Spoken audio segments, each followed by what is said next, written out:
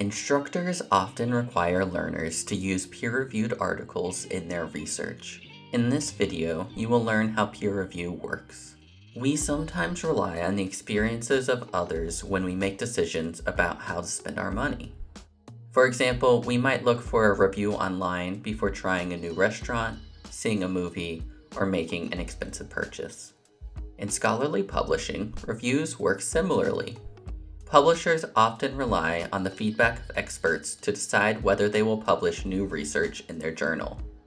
This process is called peer review. Peer-reviewed journals may also be called refereed.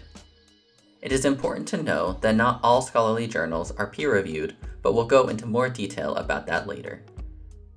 Here's how the peer review process works. A researcher, sometimes a professor or a student, submits their research to a scholarly journal for possible publication. Identifiable information is removed from the research document and it is distributed to other experts in the same field.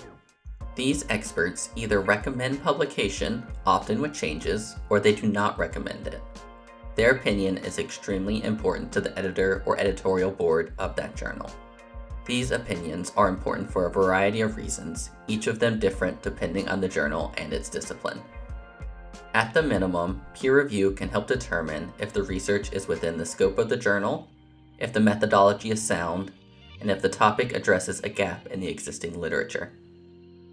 Finally, peer review can help the original authors improve their work.